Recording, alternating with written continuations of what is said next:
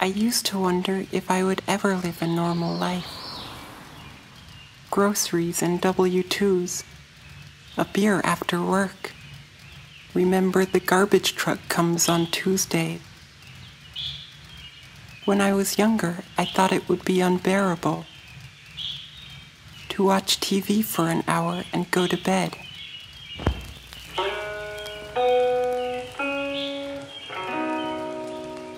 Wanted to be someone, be important, I guess. I wanted to fall in love, see the world maybe. I thought every day would be one to remember, as if my life could be a scrapbook or a paperback novel.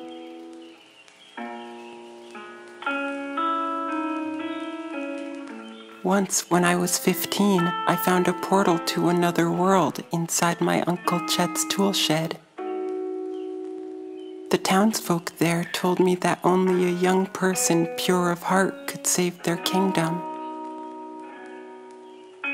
I said, Well, here I am.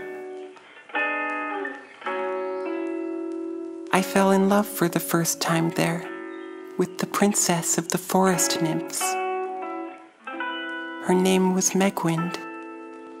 She was mysterious and brooding.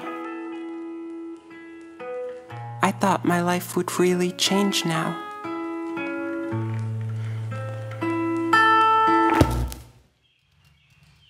But when I'd saved the kingdom, everything was the same.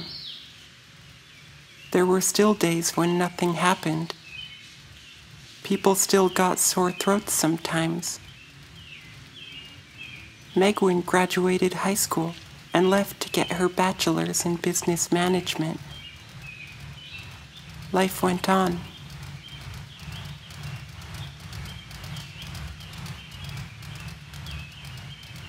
Lately, I've been thinking about my youth.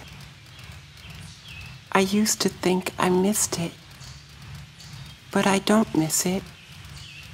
I guess I just miss the possibilities the idea of all the things I could have done with my life instead of this. I could have run away from home and had a life of adventure riding the rails. I could have had promiscuous sex. I could have become a famous criminal, or at least broken the law now and then. But I didn't. And anyway, who am I kidding? I'm not the kind of person who does that sort of thing.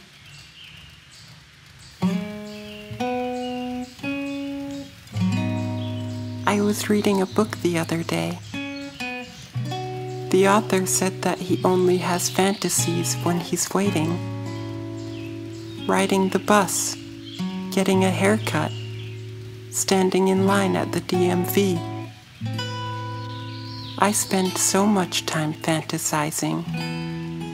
Sometimes it feels like I've spent half my life fantasizing about something or other.